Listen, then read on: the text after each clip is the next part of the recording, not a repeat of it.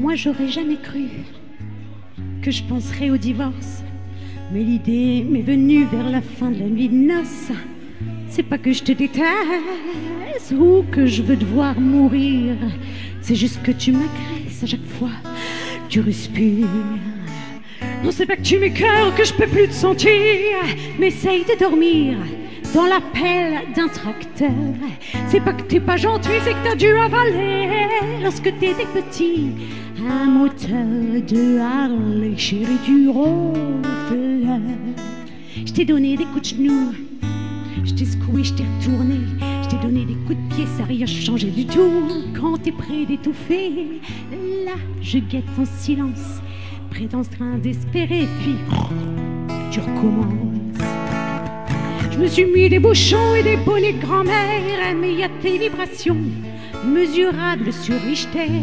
Je t'ai acheté toutes les marques d'humidificateur pour calmer tes horreurs d'amidale qui claquent.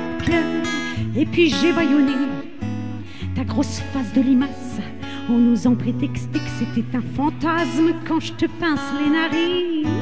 Jusqu'à ce que ça te fasse mal, c'est autour des babines de fer comme un cheval. Il y aurait l'opération qui nous sauverait la vie, mais monsieur l'étalon a peur du bistouri. Pourrais-tu m'expliquer, me confier ton secret? T'es-tu fait installer entre la gorge et le nez un broyeur à déchets? Il y a sûrement une façon, une potion miracle à donner au cochon pour ne plus qu'il renacle. Moi, je t'aimerais, la grenouille. C'était pas que tu coasses si je ramonais ta face à concours de quenouille. Au début, je me disais que j'allais m'habituer, mais alors j'ignorais que t'allais empirer. Là, je comprends le bonheur, le bonheur de ta mère au mariage. Elle rêve avec son enfant, son enfant, pas de me fleur des ménages. Je vais te tirer d'affaire si tu veux que je me charge de trouver un garage ou un vétérinaire, sinon retourne chez ta mère avec ton vice caché. Je lui dire de te refaire et puis de s'appliquer.